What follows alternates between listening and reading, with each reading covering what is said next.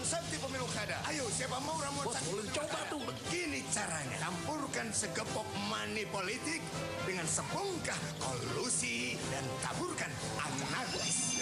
Itu kuno. Ini ramuan asli. Masukkan kejujuran setulusnya, campur dengan sebanyak-banyaknya kesantunan, aduk sesuai aturan main. Silakan. Wujudkan demokrasi yang bermartabat untuk kesejahteraan rakyat. Kalau masih ada yang curang, ajukan saja ke Mahkamah Konstitusi.